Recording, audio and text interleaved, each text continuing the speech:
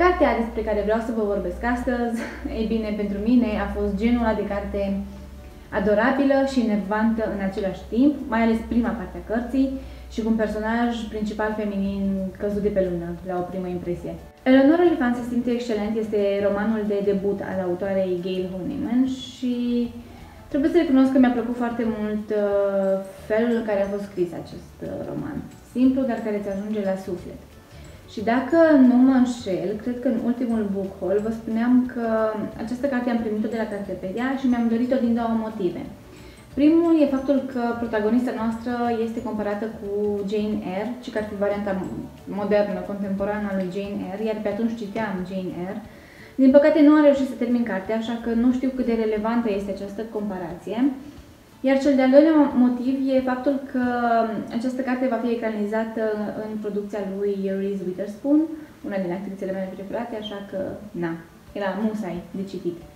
Ei bine, cartea spune povestea unei femei de 30 de ani care pentru foarte mult timp și-a negat șansa de a fi fericită, șansa de a avea o viață normală, din simplul motiv că ea credea că nu merită. Uh, titlul, Eleonora Olifant se simte excelent, într-o primă fază m-a făcut să cred că Eleonor uh, este perfect împăcată cu situația ei, cu viața sa și că se complace exact așa cum este, dar uh, de la un punct încolo m-a făcut să văd că de fapt uh, Eleonor nu este deloc bine și nici viața ei și că lucrurile trebuie să se schimbe. Vă spuneam mai devreme că personajul principal pare a fi căzut de pe lună și spuneam acest lucru din cauza comportamentului său ciudat. Eleonor, așa cum a spus, este o femeie de 30 de ani, este singură și lucrează la aceeași companie încă de când avea 21 de ani, nimic ciudat până acum. Dar, mergem mai departe. Eleonor nu are prieteni și nu este nici foarte sociabilă uh, și pe lângă asta este un om al rutinelor, adică are un program foarte bine stabilit. În timpul săptămânii nu face nimic altceva decât să meargă și să uh, se întoarcă de la muncă, iar vinerea după program își permite un mic răsfăț, în sensul că merge și își cumpără o pizza margherita, un vin și două sticle de vodka cu care se va delecta tot weekendul. Uh, pe lângă asta, vorbește cu mama sa la telefon, preț de vreo 15 minute și asta mi-a, mi ridicat un semn de întrebare de ce doar miercurea. Este îndrăgostită de un muzician, sau cel puțin așa crede ea, pentru că niciodată nu a avut ocazia să schimbe măcar o vorbă cu acel om. Și mai e și felul în care vorbește și felul în care răspunde atunci când este întrebată ceva.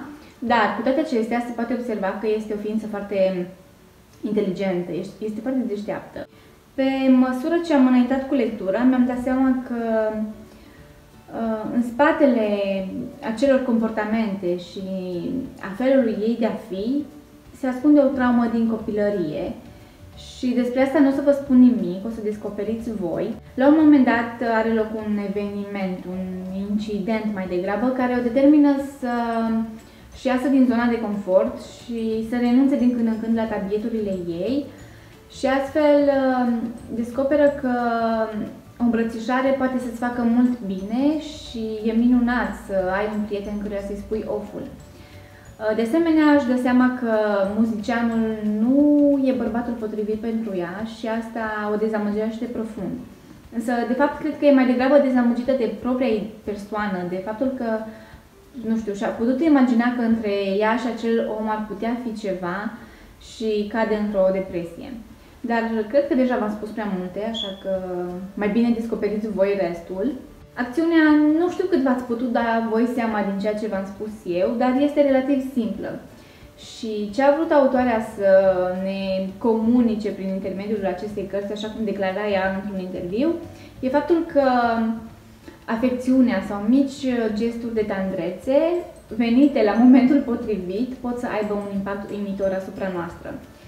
Și, indiferent de vârsta noastră, cred că cu toții simțim nevoia de a fi apreciați, de a fi iubiți într-un mod uh, absolut dezinteresat și la rândul nostru să oferim dragoste celor din jur. E o carte care se citește super rapid, e o lectură relaxantă, prin urmare a primit 4 stelițe. Nu am cuvinte să le mulțumesc celor de la Cartepedia pentru toate cărțile minunate pe care mi le-au trimis până acum și sunt foarte bucuroasă că am ocazia să vă vorbesc și vouă despre ele. Uh, până data viitoare, vă urez lectură plăcută și vă aștept în secțiunea de comentarii să vorbim despre cărți și despre orice vreți voi. Pa, pa!